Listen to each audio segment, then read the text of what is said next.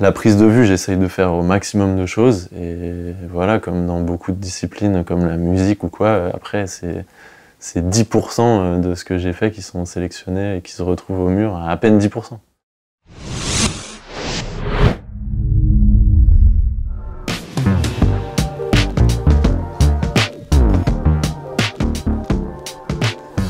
À Nantes, à l'atelier argentique. C'est un labo, un labo photo, développement, tirage, tout ça. il y a un espace galerie à l'entrée et, euh, et voilà. Et les, filles Camille et, Carole m'ont invité à exposer euh, ma première exposition depuis, euh, depuis que je suis rentré à, l'école photo à Arles et en soi depuis, depuis le Covid.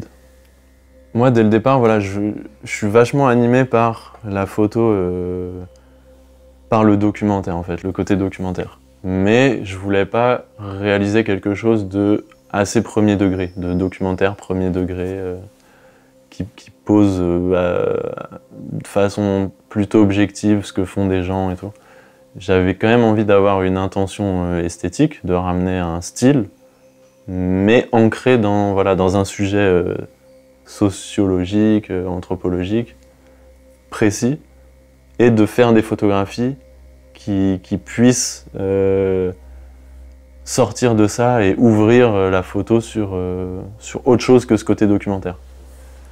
Quand je suis arrivé à Arles, moi je voulais absolument faire des projets en lien avec le territoire, avec le territoire d'Arles et, photographier ce qui est relatif à Arles et à cet environnement.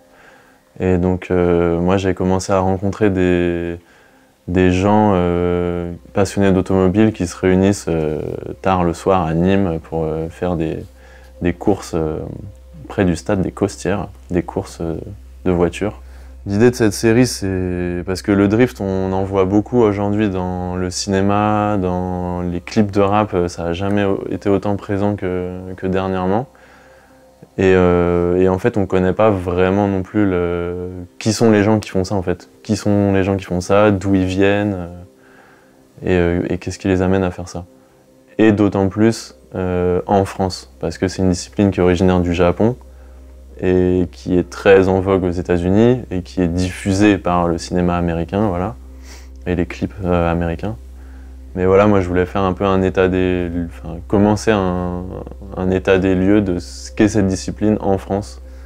Un jour, euh, on m'avait dit faut que tu ailles voir euh, Ben Vavasseur. Je suis arrivé, euh, j'ai toqué, j'ai dit cherche Ben Vavasseur. Et il était là et je lui ai dit voilà, moi j'aimerais bien commencer un travail sur, sur l'humain, la famille et en lien avec le drift.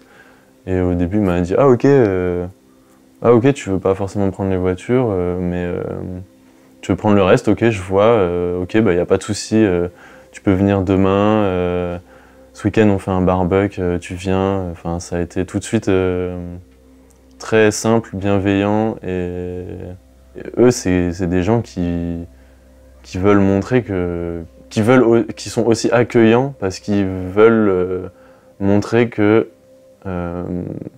ils sont pas comme les clichés euh, véhiculés sur les gens qui font des sports auto. clichés où on pourrait dire que c'est des, c'est des grosses brutes qui font ça, euh, qui sont là juste pour faire du bruit, cramer des pneus, euh, que c'est pas intéressant. Et, voilà, moi c'est ça qui m'intéressait aussi, c'est d'avoir de connaître ces a priori là, d'aller à la rencontre des gens et de savoir que c'est beaucoup plus complexe que ça. Et en fait, j'ai découvert aussi tout ce que ça signifiait au fur et à mesure. J'ai découvert tout ce que ça signifiait aussi euh, euh, socialement parlant ou sociologiquement parlant.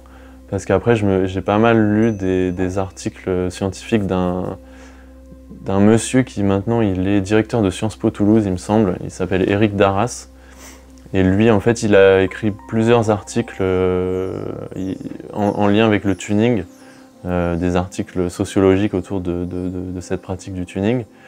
C'est toute la question autour de, l'héritage ouvrier, en fait, de, l'héritage des grandes entreprises, des grands fabricants automobiles français et, des gens qui travaillaient là-bas. Et du fait de la délocalisation de, beaucoup d'entreprises automobiles euh, françaises, il y a beaucoup d'ouvriers qui se sont retrouvés euh, sur la paille ou à, travailler dans d'autres choses, mais qui avaient en eux, parce que c'était transmis depuis longtemps, ce savoir-faire, euh, ce savoir-faire mécanique. Euh, c'est vraiment une histoire de comment ce savoir-faire ouvrier se retrouve dans des nouvelles pratiques. Moi, j'ai rencontré quelqu'un dans cette team qui s'appelle Pépinox, et qui est chaudronnier de, métier et qui est spécialisé dans, dans l'échappement et l'échappement pour les voitures euh, anciennes, de course ou de drift. Et c'est quelqu'un qui a fait les Compagnons du Devoir.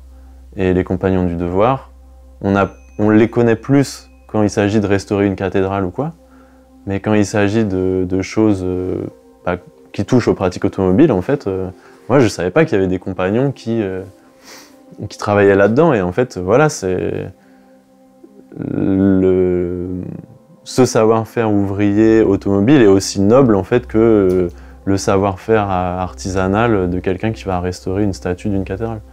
C'est de l'artisanat aussi. Mais voilà, moi, ce qui, ce qui m'a intéressé, c'est justement les, préjugés qu'on avait. Et ça m'a ça, ça motivé à aller voir, à me rendre compte que c'est beaucoup plus complexe que ça. Euh, et que c'est juste euh, une histoire de, comme dans beaucoup de groupes euh, de, passionnés, c'est une histoire, de, une histoire commune, une histoire de famille, une histoire d'amitié, euh, une histoire de, de,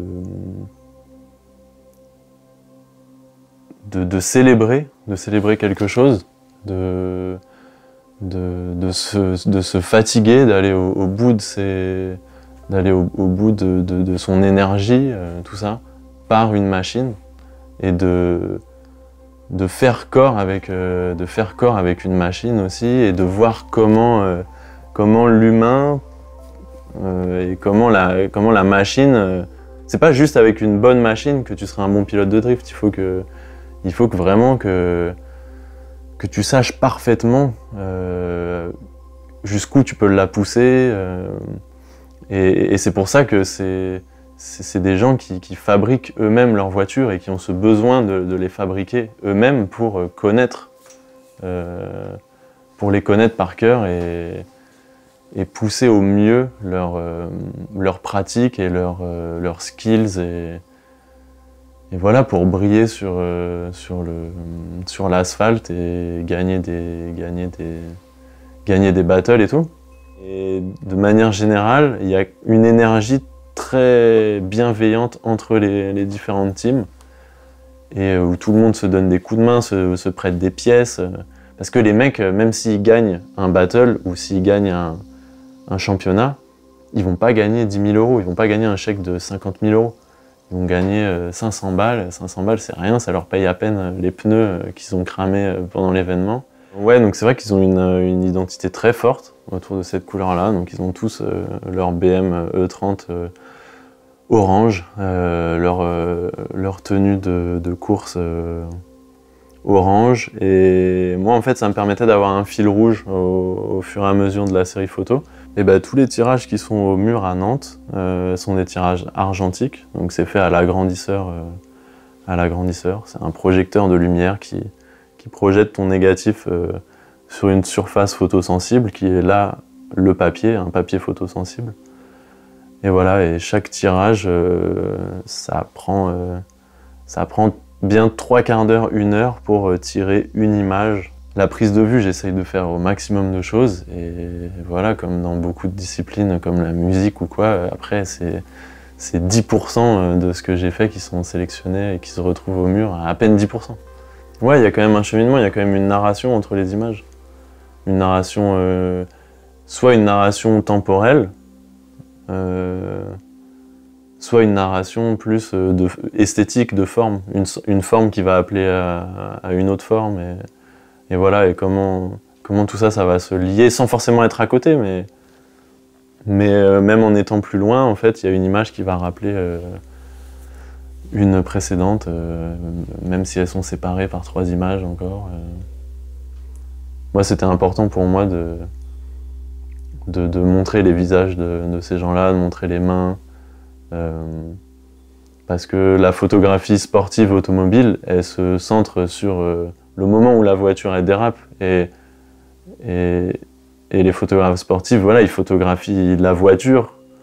Et limite, en fait, on voit même pas, euh, du fait du reflet du pare-brise, tout ça, dans les photos de sport, on voit quasi jamais, en fait, la personne qui est à l'intérieur. Alors que, justement, l'humain, il est beaucoup plus central que la voiture dans cette pratique-là.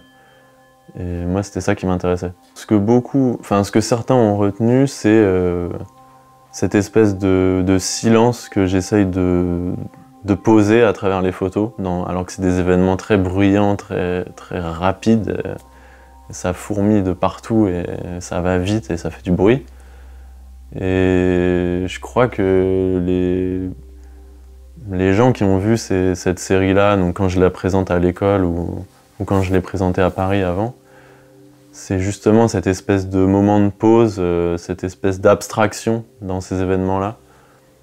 Et en même temps, ce, qui, ce, que certains ont retenu aussi, c'est euh, euh, cette proximité avec euh, les gens que j'ai photographiés. Et en fait, ils ont l'impression qu'il y, a eu un, rapport entre moi et eux, très naturel, très instinctif.